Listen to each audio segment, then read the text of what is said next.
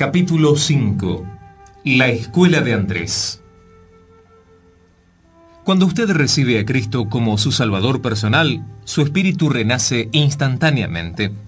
La vida de Dios se derrama en usted y de inmediato todo su ser espiritual recibe vida eterna. Pero su mente, sus pensamientos, tienen que ser renovados conforme a su espíritu regenerado.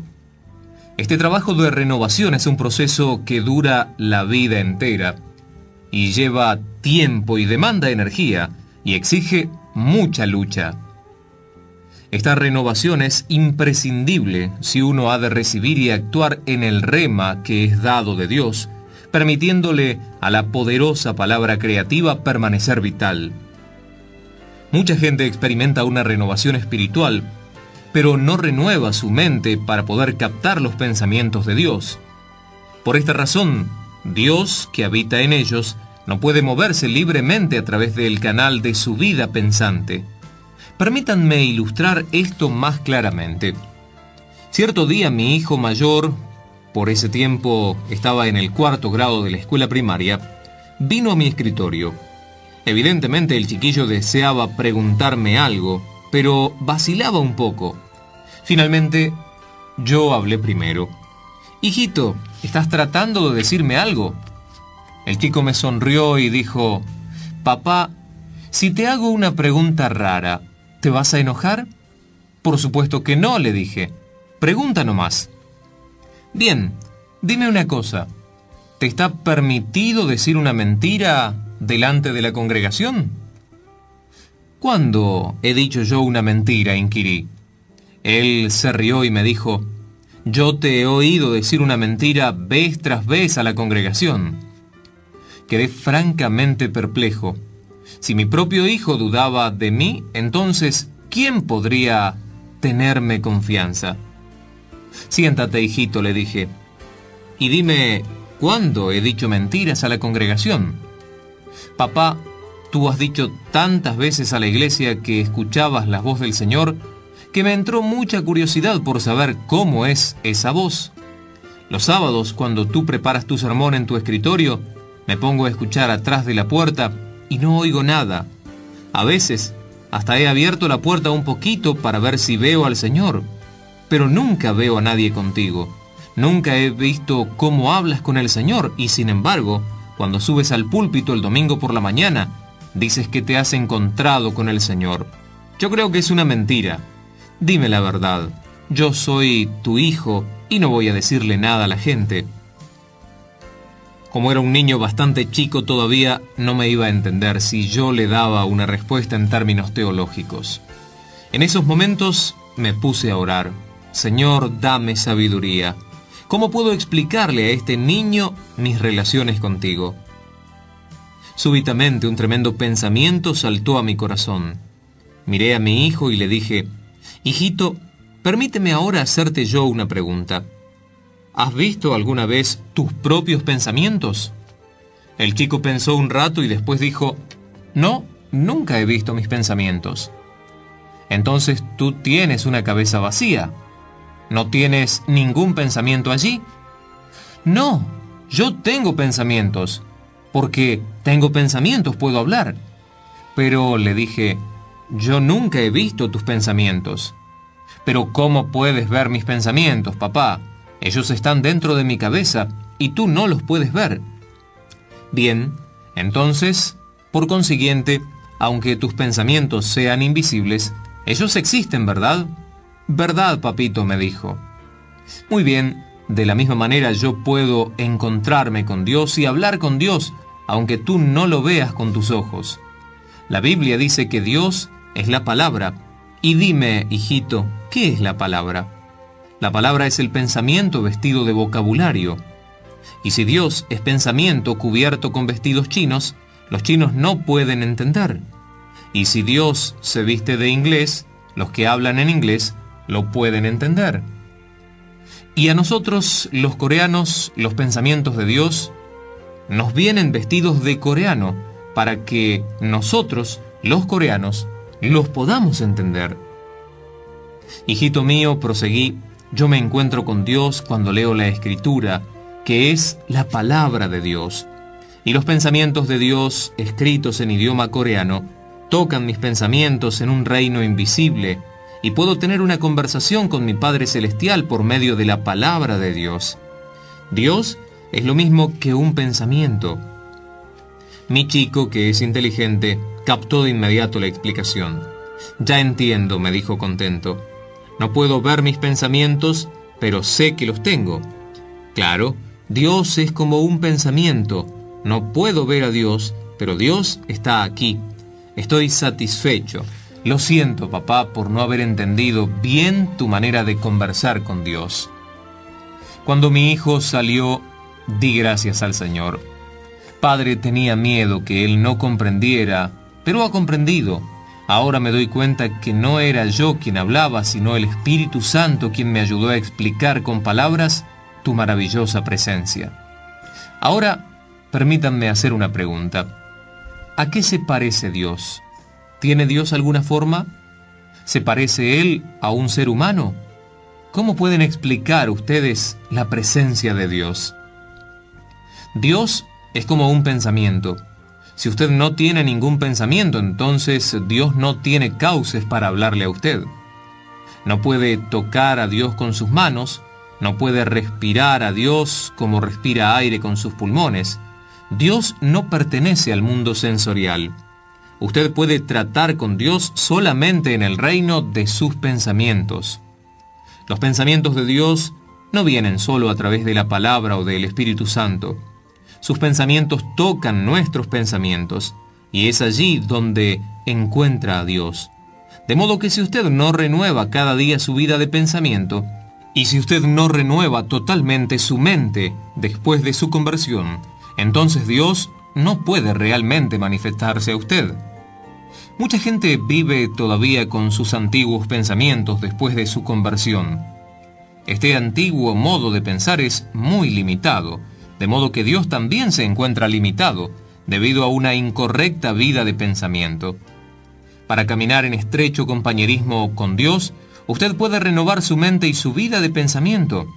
Si usted no renueva su vida de pensamiento, Dios no puede venir a comunicarse con usted. Dios no puede tratar con una mente que está vaciada y contaminada. Así como ocurre con los peces que no pueden vivir en las aguas corrompidas de un lago, ni las aves volar a gusto en un aire contaminado. La fe no brota solamente del espíritu interno. La fe viene en cooperación con sus pensamientos porque la fe viene por el oír la palabra de Dios. Primeramente usted debe oír, y por el oír la palabra de Dios viene a sus pensamientos. Y a través de su vida de pensamiento, los pensamientos de Dios entran en su espíritu y producen fe. Por lo tanto, si usted no renueva sus pensamientos, no puede comprender enteramente los pensamientos de Dios, y sin la renovación de la mente, y sin el oír de la palabra de Dios, Usted no puede tener fe. La fe viene por el oír. ¿Y qué es lo que oye usted? Oye los pensamientos de Dios. La arena de sus pensamientos absorbe los pensamientos de Dios y produce fe. Y por medio de su fe, Dios puede tener influencia en otros. Su vida de pensamiento es muy importante. Usted debe imprescindiblemente renovar su mente. Hay tres pasos que se deben dar si se quiere renovar la mente. Estos tres pasos deben ser dados antes de adquirir una renovación completa de la vida de pensamiento. Su primer paso debe ser pasar de una actitud de pensamiento negativo a una actitud positiva. Tomemos como ejemplo a Pedro, el discípulo de Jesús. Los discípulos de Jesús navegaban en su barca por el mar de Galilea. Era una noche oscura y tenebrosa, y las olas eran tan altas que la barca navegaba pesadamente. Los hombres estaban librando una batalla perdida para mantener la embarcación a flote. De súbito, vieron a Jesús caminando sobre las aguas. Los marinos siempre han tenido la superstición de que si uno ve un fantasma que anda sobre las olas del barco, éste se hunde irremediablemente. De modo que cuando los discípulos vieron a Jesús, quedaron paralizados de miedo seguros que el barco se hundiría sin remedio. Pero Jesús les habló y les dijo, Tened ánimo, yo soy, no temáis. Pedro le gritó, Señor, si eres tú, manda que yo vaya a ti sobre las aguas. Pedro siempre hablaba antes de pensar. Era un hombre fantásticamente emocional, pero también era un hombre de arrojo. Por eso Dios lo usó muchas veces. Jesús le dijo a Pedro que fuera hasta él. Cuando Pedro escuchó la orden, la aceptó inmediatamente en su mente y sus pensamientos fueron renovados. Humanamente hablando, Pedro jamás hubiera caminado sobre las aguas, pero cuando aceptó la palabra de Jesús, renovó instantáneamente su mente, cambió sus pensamientos de negativo a positivo. Pedro jamás hubiera ni imaginado siquiera que él podía caminar sobre las aguas, pero no bien oyó el mandato de Jesús, lo aceptó y cambió sus pensamientos. Ahora creyó que sí podía caminar sobre las olas cambió totalmente sus pensamientos y el hombre siempre actúa conforme a su manera de pensar. Cuando Pedro renovó sus pensamientos, cuando creyó que podía caminar sobre las aguas, actuó, actuó de acuerdo con esto y saltó fuera de la barca. La noche seguía oscura y tormentosa y las olas eran muy altas. Pero Pedro arriesgó audazmente su vida lanzándose al mar por fe y comenzó a caminar sobre las aguas. Los milagros siempre siguen a una mente renovada. Cuando se dio cuenta que podía caminar sobre las aguas, enfrentó las olas. Sus pies se mojaron con la espuma, dio paso sobre la cresta de las olas. Estaba caminando sobre el mar. Pero súbitamente comenzó a mirar en derredor. Miró los abismos que se formaban entre ola y ola y comenzó a regresar a su antigua manera de pensar. Mírenme, habrá pensado Pedro, ¿no soy acaso un ser humano? Y estoy caminando sobre las olas. Se supone que los seres humanos no pueden caminar sobre las aguas. Pueden caminar en la tierra, pero no en el agua. No soy ningún pez, pero miren, estoy caminando sobre las aguas. Está raro esto. Es imposible que yo lo haga. Cambió otra vez su modo de pensar razonó que él no podía caminar sobre las aguas e inmediatamente comenzó a hundirse. Dios se relaciona con cada uno de nosotros por medio de nuestros pensamientos. Cuando Pedro recibió el rema de Jesucristo, renovó sus pensamientos y creyó que era capaz de andar sobre las aguas, y así lo hizo. Pero cuando volvió a pensar y cambió sus pensamientos a la manera antigua, empezó a hundirse de nuevo. Este es un concepto sumamente importante, que así como un hombre piensa, así es como actúa, y así es él. Si usted piensa que es un rey o una reina, actuará como un rey o una reina. Si piensa que es un ser indigno, vil, miserable, sin valor alguno, entonces actuará en la vida de una manera consecuente, aceptando que no sirve para nada de modo que es esencialmente vital que usted cambie el giro de sus pensamientos. Permítanme ilustrar este punto con otro ejemplo. Conocí una vez a un doctor que decía ser ateo. Sufrí bastante por causa de él. Durante mucho tiempo fue un enemigo de mi ministerio, contrarrestando mi fe y atacando mis palabras y creencias. Un buen día este doctor sufrió un derrame cerebral y quedó paralizado. Como resultado del derrame comenzó a morirse lentamente. Quebrantado y angustiado, vino a mi iglesia y me pidió que orara por su sanidad. Hay mucha gente que hace alarde de sus ideas ateas, pero cuando sufren alguna calamidad y la noche se les vuelve oscura y tormentosa, entonces sus ideas ateas comienzan a esfumarse. El doctor de Marras vino a mi iglesia y yo oré por él. El hombre recibió la oración de fe, se levantó de la silla de ruedas y comenzó a caminar dando grandes pasos. La gente aplaudía y vitoreaba, alababan a Dios. Al domingo siguiente volvió a la iglesia caminando por sí mismo sin ninguna ayuda. Otra vez pidió que orara por él, pero como yo estaba muy ocupado en ese momento no lo pude atender de manera directa. Cuando vio que no podía orar personalmente por él, cambió sus pensamientos. Sus viejos pensamientos regresaron y volvió a ser el mismo viejo hombre. Como no podía recibir mi oración de fe, volvió a ser incrédulo. Cuando salió de mi oficina para ir a su automóvil, se cayó. Su esposa tuvo que levantarlo y llamar a una ambulancia para llevarlo al hospital. El doctor se cayó porque cambió sus pensamientos. El poder de Dios lo abandonó, al igual que Pedro comenzó a dudar, y al igual que Pedro se hundió en las aguas, él se hundió en la incredulidad y desesperación y quedó paralítico de nuevo. Los pensamientos son importantes, de modo que no descuide renovar su vida de pensamiento. Sea absolutamente positivo en sus pensamientos. Nunca piense negativamente. Dios es luz y en Él no hay ninguna tiniebla. No hay nada negativo en Dios porque en Dios solo existe lo positivo. Están sucediendo cosas positivas, de modo que para tener comunión con Dios, usted debe renovar sus pensamientos y pensar siempre solamente de un modo positivo. Alimente su alma con la Biblia, la palabra de Dios, porque la Biblia está llena de pensamientos positivos. Y cuando alimente su alma con la palabra de Dios, tenga cuidado de no confinar sus pensamientos a los viejos cánones mentales.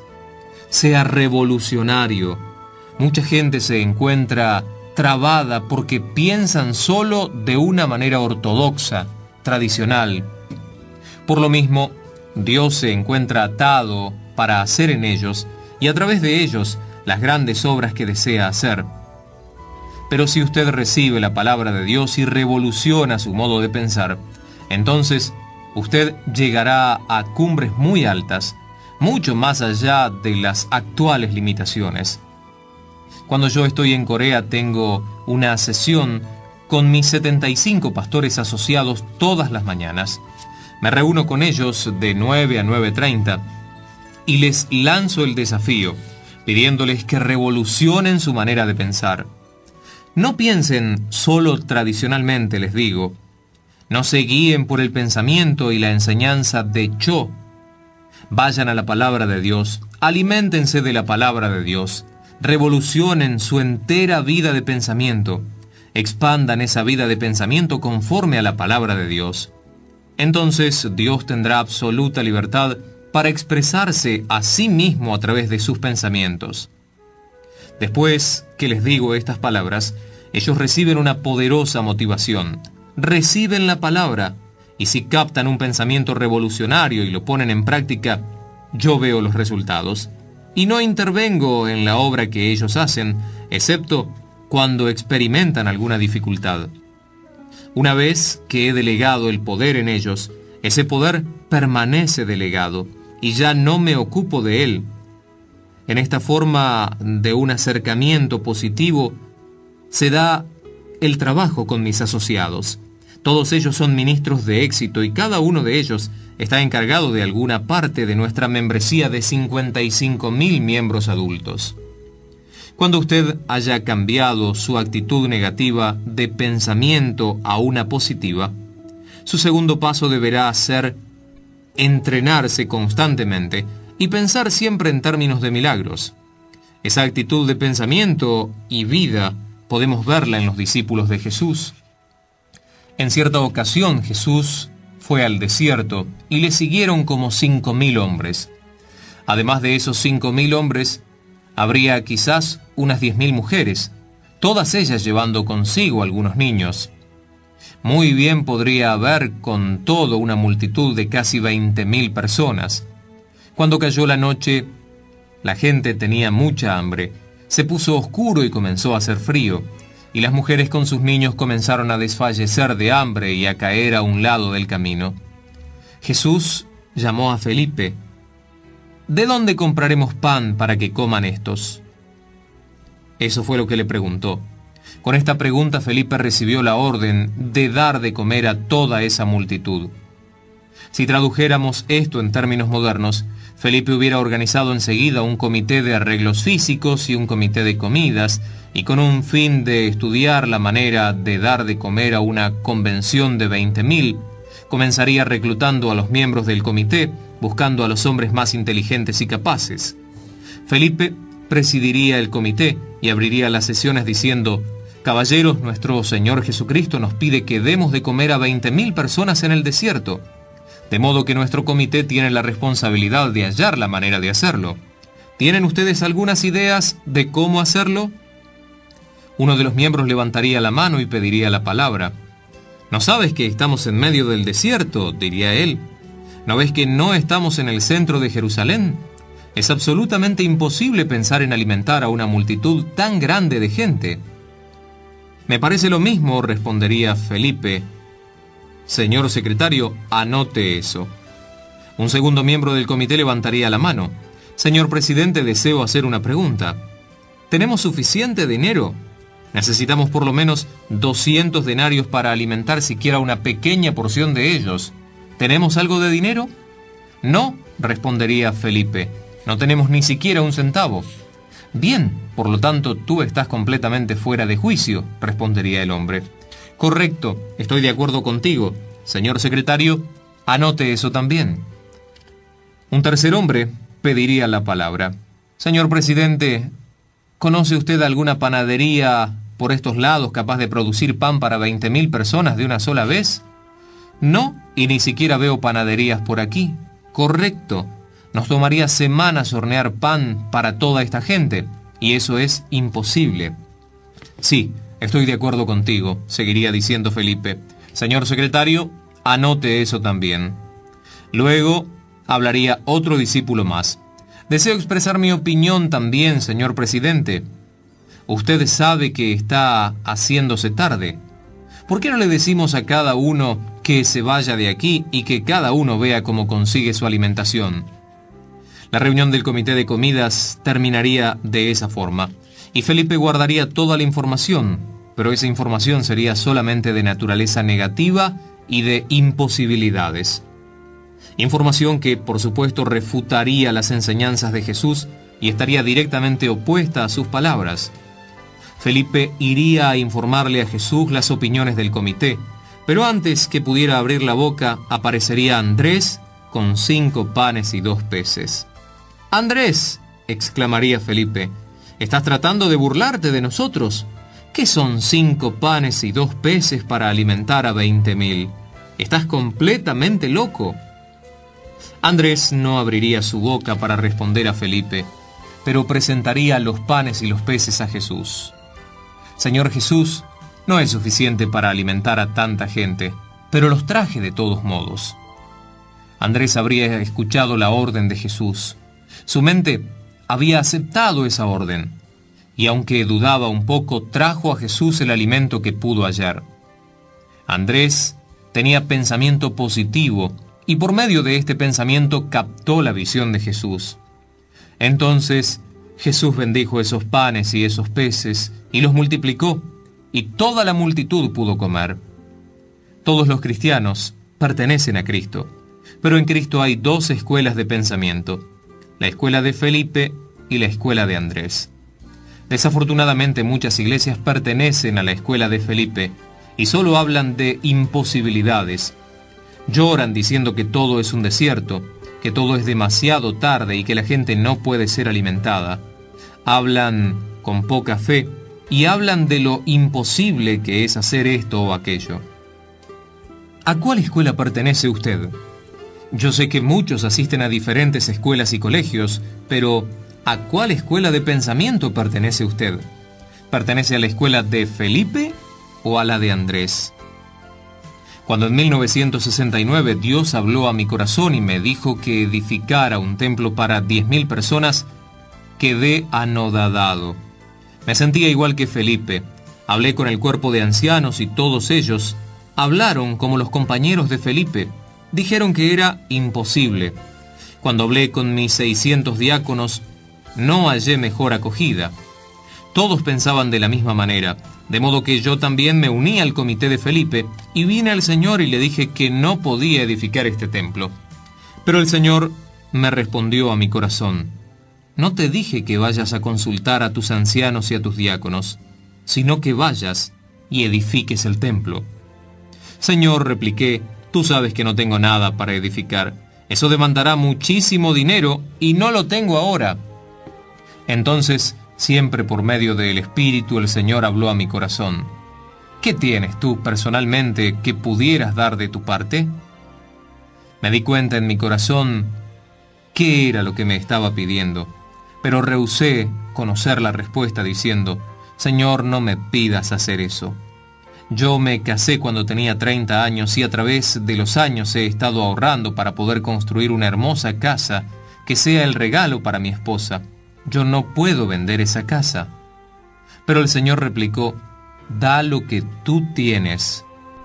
Padre, vale 20 mil dólares, contesté llorando. Con eso no se puede edificar una iglesia y un complejo de edificios que costarían 5 millones. La cantidad que yo pueda sacar de mi casa no serviría para nada. Pero Dios insistía, vende tu casa y tráeme ese dinero a mí con toda tu fe. Oh Señor, esto es terrible, protesté. ¿Cómo puedo hacer esto? Si tú vas a creer en mi palabra, me amonestó el Señor, debes darme primero lo que posees. Para una esposa coreana, la casa lo es todo. Es el lugar en donde cría a sus hijos, el lugar en donde edifica su vida, la más preciosa posesión material para ella. Me daba miedo decirle a mi esposa que deberíamos vender la casa y me puse en oración. Oraba pidiendo que mi esposa estuviera de acuerdo en vender la casa. Esa noche le llevé un ramo de flores. ¿Por qué me vienes con esto? me preguntó enseguida. ¿Piensas que te estoy dejando de querer? Pero se mostró muy contenta y empezó a preparar una cena felizmente. Oh, alabado sea el Señor, respondí. Estoy tan feliz de haberte elegido. Si Dios me permitiera volver a elegir una muchacha para casarme, te elegiría a ti otra vez inmediatamente. Cada día eres más hermosa para mí. Después de un rato, cuando me pareció que era el momento propicio, le dije, querida, tengo un gran problema. Me miró preocupada y me dijo, dímelo. Tenemos que edificar este gran templo para 10.000 personas, le dije, y este templo costará 5 millones de dólares. Mientras estaba orando por este problema, el Espíritu Santo habló a mi corazón y me dijo que si yo quería tener ese dinero para la construcción, tenía que empezar por mi propia casa. Dios desea que le entreguemos cinco panes y dos peces, y esos cinco panes y los peces son nuestra propia casa. Mi esposa se puso pálida y mirándome a los ojos me dijo, esta casa es mía, no tuya. Tú no puedes disponer de esta casa. Me pertenece a mí y a mis hijos. Tú no puedes tocarla. Su reacción fue justamente lo que yo temía. Entonces fui al Señor y oré. Señor, yo ya he hecho todo lo que debía hacer. El resto queda en tus manos. Envía el Espíritu Santo a su corazón, así ella podrá comprender y someterse. Esta noche mientras oraba, podía escuchar a mi señora darse vueltas en la cama continuamente durante el sueño. Me di cuenta que el Espíritu Santo estaba obrando. Dije en oración, Oh Señor, sigue, sigue tocándola. Y de seguro que el Señor la siguió tocando. Durante una semana no pudo dormir bien. Sus ojos se veían enrojecidos. Finalmente vino a mí. No puedo soportarlo más, me dijo, no puedo resistir más al Espíritu del Señor. Vamos a vender la casa. Ella misma fue a buscar la escritura y los dos juntos pusimos esa escritura para el fondo pro construcción de la iglesia. Éramos igual a Andrés, que aunque solo tenía cinco panes y dos peces, tenía fe en que Jesús podía usar esa pequeña porción para alimentar con ella toda una multitud. Nosotros también pertenecíamos a la escuela de Andrés. Sin embargo, un día surgió un problema con el terreno donde queríamos edificar el templo. El gobierno de Corea estaba desarrollando un proyecto especial llamado Yoido Island. Estaban construyendo allí edificios del gobierno e iban a permitir la construcción de una sola iglesia. Llegaron pedidos de toda Corea los presbiterianos, los metodistas, los bautistas, los católicos, los budistas y hasta los comunistas presentaron solicitud para obtener esa tierra. Yo también presenté mi solicitud. El hombre que tenía a su cargo recibir las solicitudes me miró y me dijo, ¿A qué denominación pertenece usted? A las asambleas de Dios le dije. Quiere decir, esa iglesia que alaba a Dios a grito pelado, oran por los enfermos y hablan en lenguas. Esa misma respondí impasible. El hombre movió la cabeza. Usted sabe que ese templo tendrá que estar precisamente frente al nuevo Palacio del Congreso. Esa iglesia tiene que ser culta, refinada, dignificante, y la suya no lo es. Me parece que no puedo aceptar su solicitud. Me sentí un poco feliz en mi corazón, porque eso me eximía de la obligación de edificar la iglesia. Volví a orar al Señor. Señor, has oído eso, ¿verdad? No somos bastante dignos como para edificar una iglesia allí.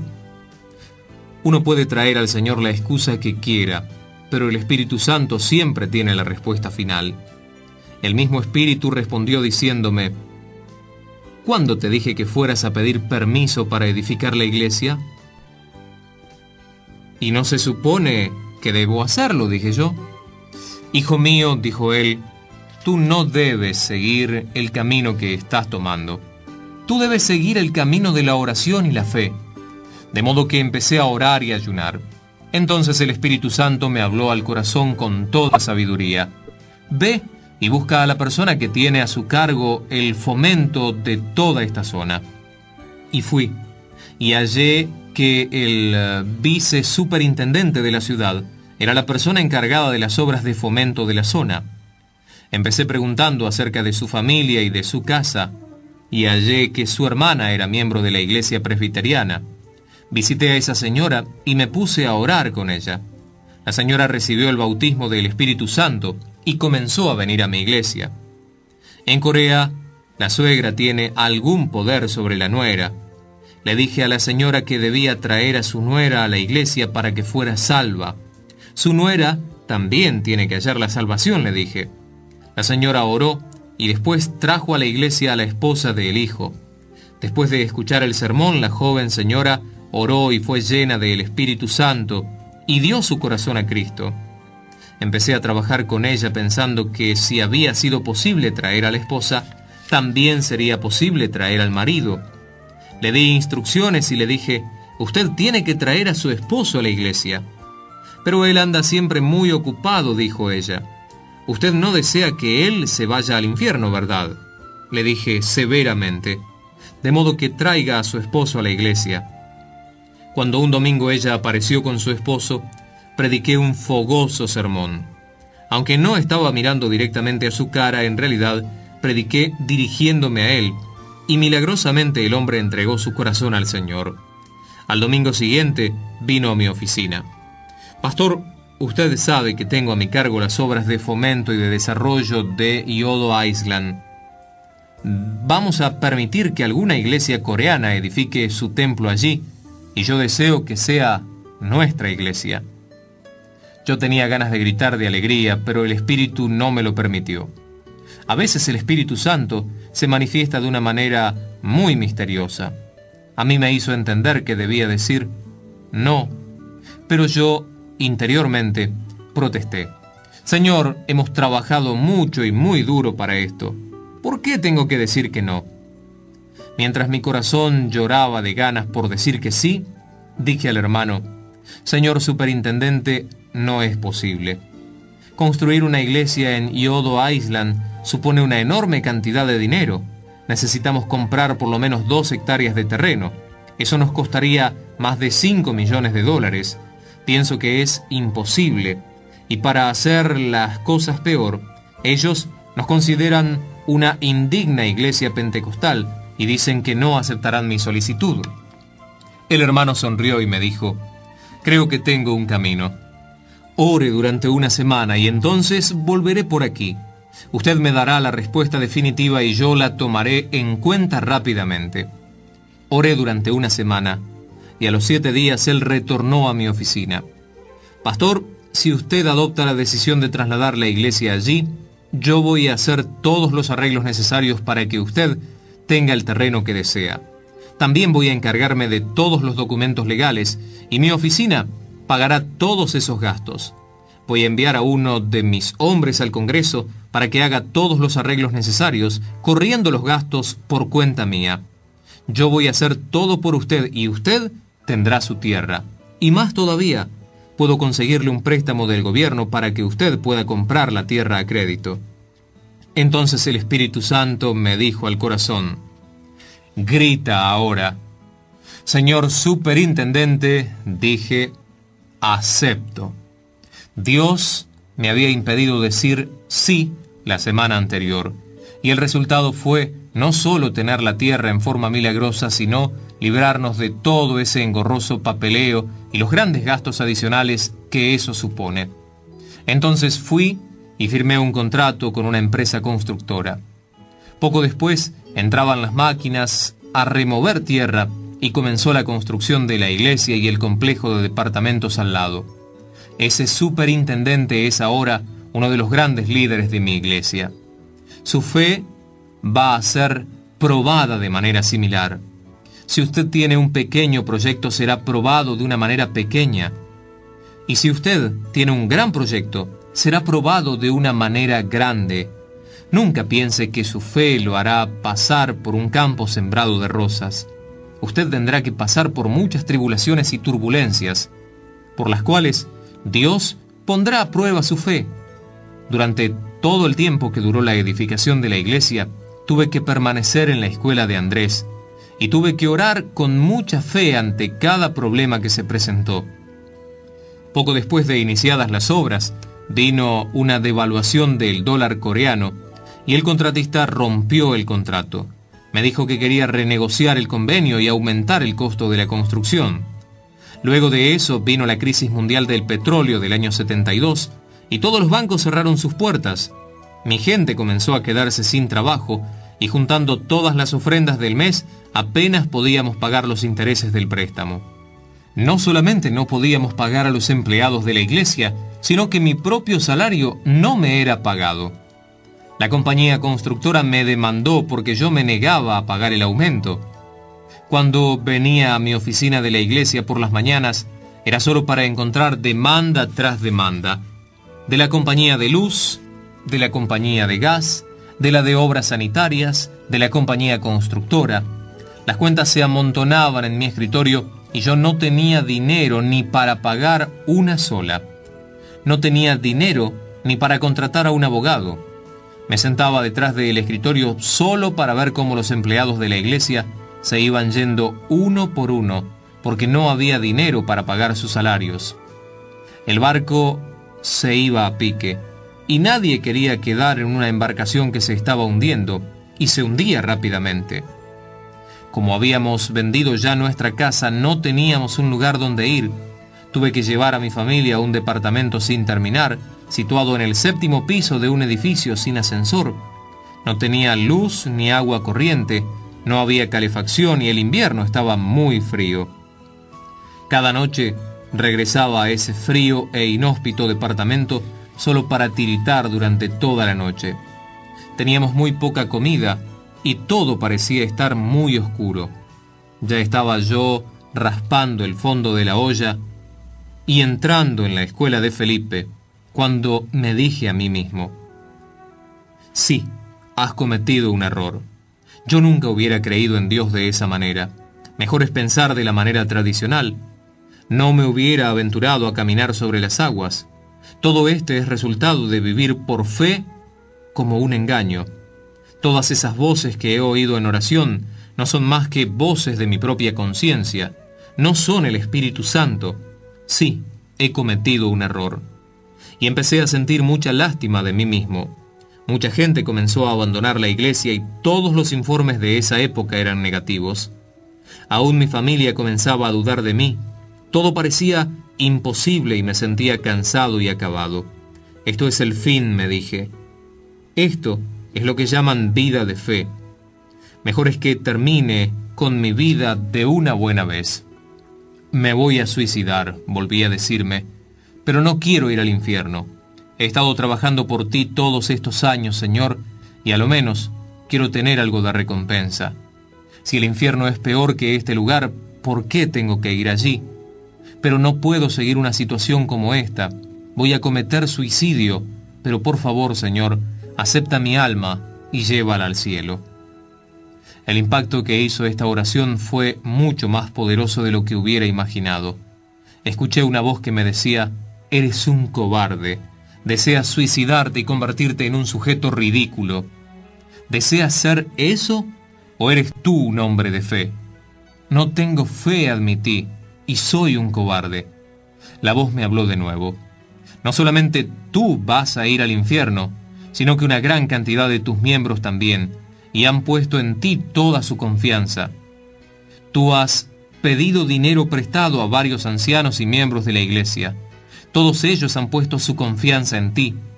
Recuerda los miles de dólares que te han prestado preciosas hermanas de la iglesia, y ahora tú mismo te aniquilas y piensas cometer suicidio. Tú causarás una reacción en cadena y a causa de tu cobardía, ellos perderán su fe, sus hogares se desmoronarán y muchos cometerán suicidio. ¿Qué repercusión tendrá tu actitud en el mundo cristiano? Estas palabras se derramaron por todo mi corazón. Caí de rodillas, llorando. Oh Señor, entonces, ¿qué puedo hacer? ¿por qué no me dejas morir? El Señor me contestó, tú no debes morir porque tú debes perseverar. Tú tienes que ver cómo se pagan todas las deudas y cómo todas las cuentas del pueblo son aclaradas y limpiadas. Me puse de pie, bajé del séptimo piso a la calle y me fui a mi oficina. Me arrodillé clamando y llorando. La noticia de mi estado desesperado comenzó a correrse entre el pueblo Súbitamente experimentaron un reavivamiento de la fe, incluso aquellos que se habían alejado de la iglesia. Salvemos a nuestro predicador, decían, salvemos al hombre de Dios. Así dio comienzo un vasto movimiento que llamaron Salvemos al pastor. Era un invierno muy frío y no teníamos calefacción, pero los creyentes comenzaron a llenar por miles el recinto de la iglesia y aún no estaba terminada. Miles de ellos Oraron y ayunaron muchas noches. Oraban y lloraban repitiendo, salvemos al hombre de Dios, salvemos a nuestro pastor. Entonces Dios comenzó a moverse entre su pueblo. Las mujeres comenzaron a cortarse sus largos cabellos y los traían a la iglesia para que se vendieran a los fabricantes de pelucas. Un día presenciamos una escena conmovedora. Una anciana viuda que no tenía marido ni hijos ni ayuda de ninguna especie y vivía solo con la ayuda social del gobierno, se acercó a la plataforma llorando y temblando. Traía un viejo tazón de arroz, un par de palillos chinos y una vieja cuchara. Cuando se paró ante el público dijo llorando, Pastor, yo quiero verlo a usted libre de esa deuda. Yo quiero verlo a usted aliviado porque su ministerio ha sido de mucha bendición para mí durante muchos años. Yo quiero hacer algo pero no tengo ningún dinero. Esto es todo lo que tengo, este viejo tazón, estos palillos y esta cuchara. Pero yo deseo darlo para toda la obra del Señor.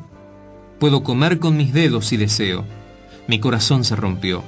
Señora, le dije, no puedo aceptar esto.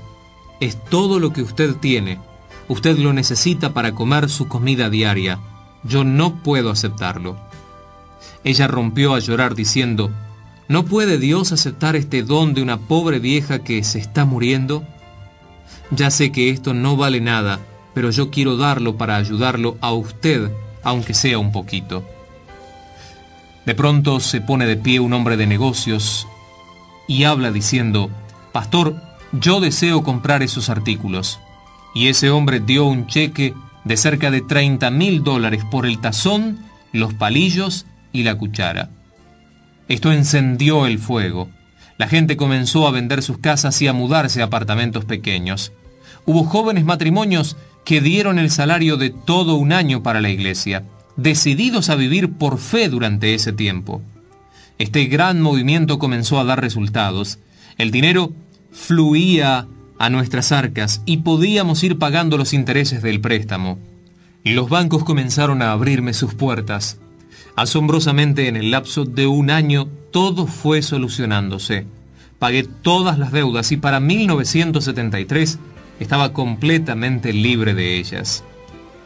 No solo pude pagar los intereses, sino el monto total de los 5 millones que invertimos para edificar la iglesia y los apartamentos.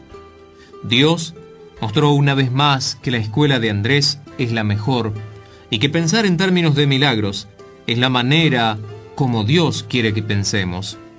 Mucha gente cree que cuando uno tiene fe las cosas vienen fácilmente, con pocos o ningún problema. Es importante recordar que esto no es así. Miremos a Abraham. Él tenía fe, pero soportó la prueba durante 25 años. Jacob soportó dificultades y contrariedades durante 20 años. José por 13. Moisés por 40 años. Los discípulos de Cristo soportaron pruebas y tentaciones durante toda su vida. No se descorazone ni se desaliente. Si lleva semanas o meses o años de prueba, no deje caer sus manos como si estuviera derrotado.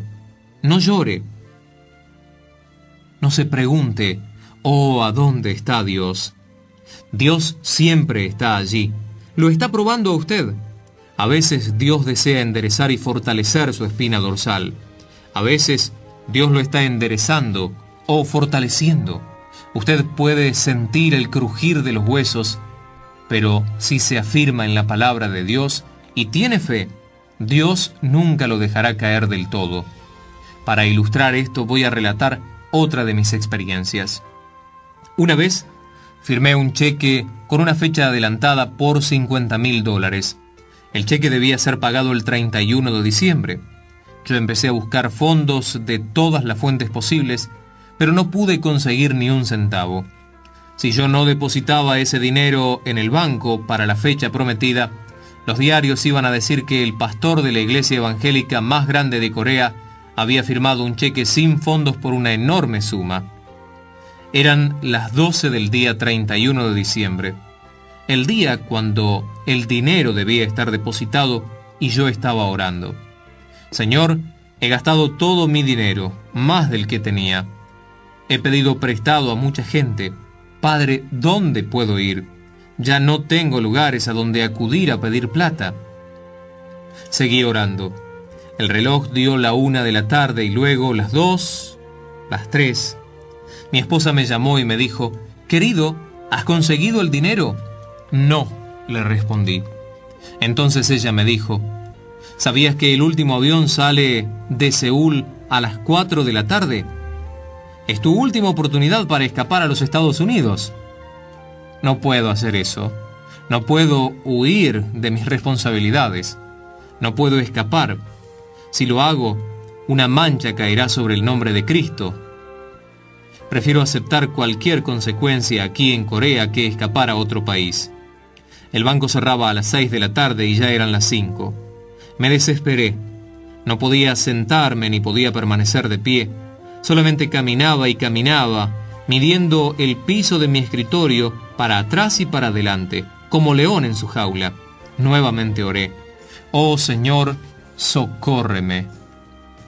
Súbitamente el Espíritu Santo hizo estallar un pensamiento en mi mente. Me dijo que yo debía ir al presidente del banco y pedirle osadamente un cheque por 50 mil dólares. Padre, exclamé, tengo que haberme vuelto loco. He calentado tanto mi cabeza que debo tener demasiada sobrecarga. No tengo nada que dar de garantía o poner en hipoteca. No he llenado ninguna solicitud de crédito y tú me dices que vaya al presidente del banco y le pida fríamente 50 mil dólares de préstamo. Esto es absolutamente fuera de todo sentido. Pero el Espíritu Santo seguía insistiendo. Es cierto, yo suelo hacer cosas completamente fuera de sentido natural.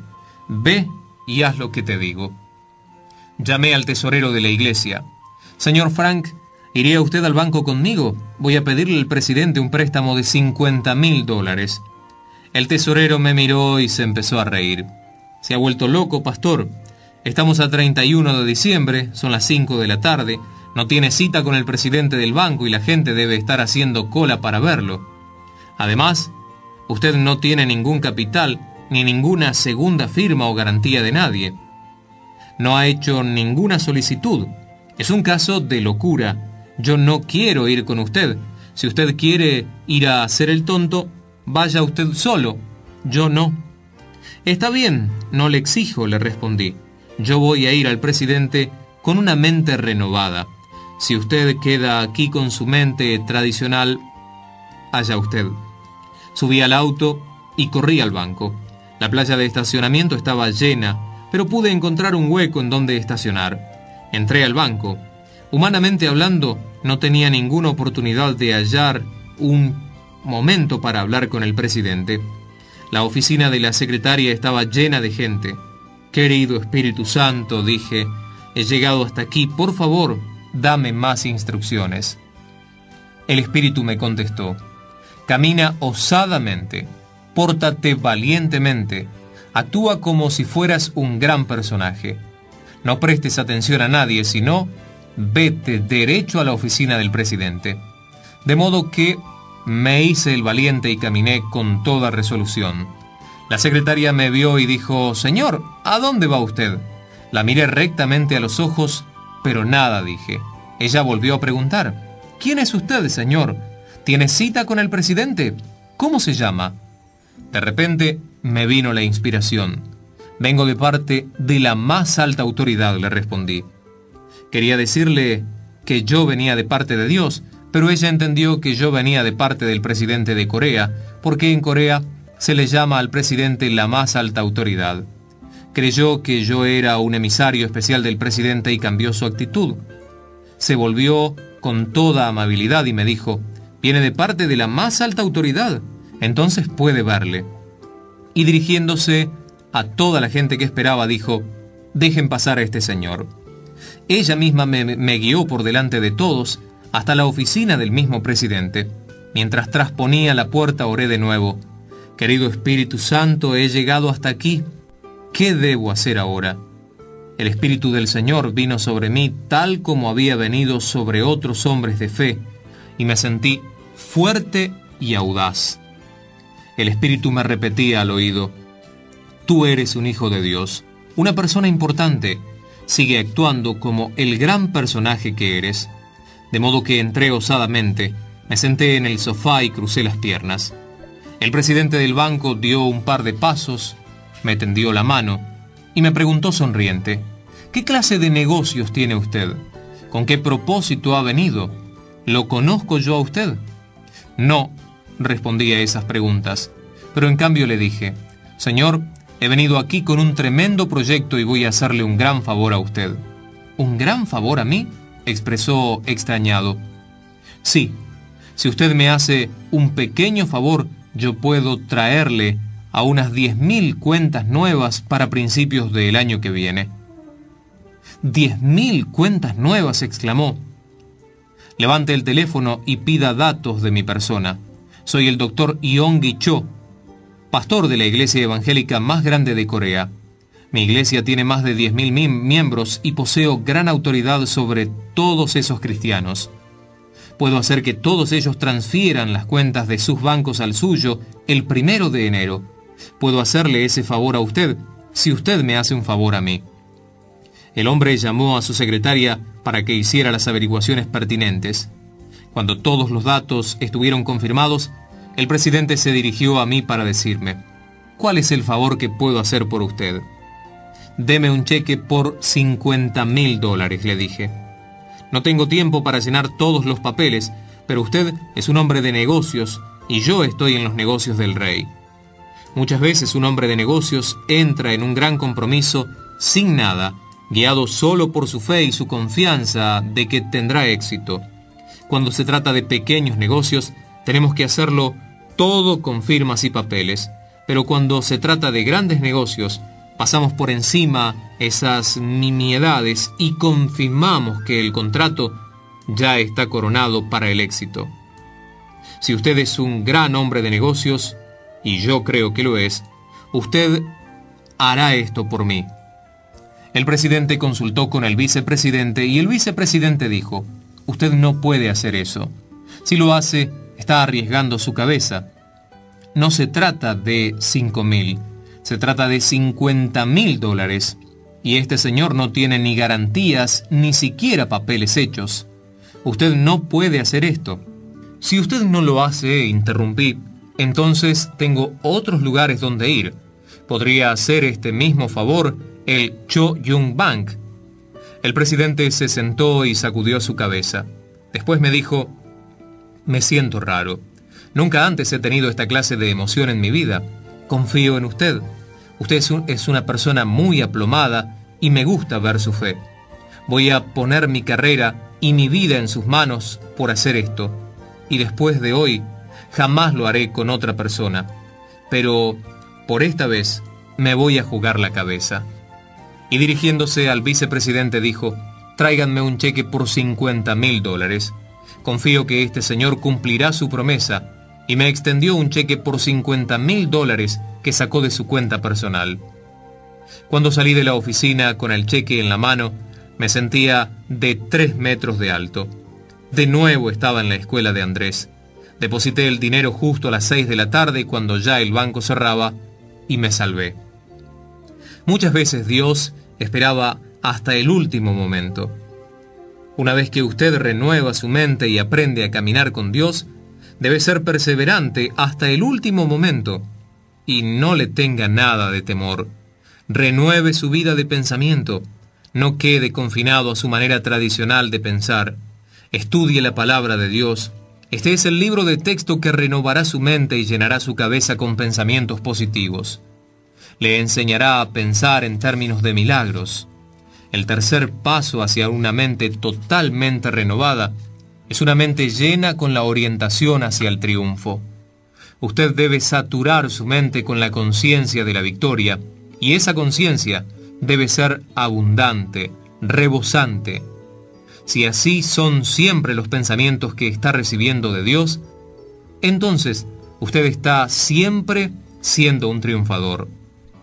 Dios nunca pierde una batalla porque es el eterno victorioso. Usted debe vivir con la permanente conciencia de la victoria. Este estado de conciencia es sumamente importante.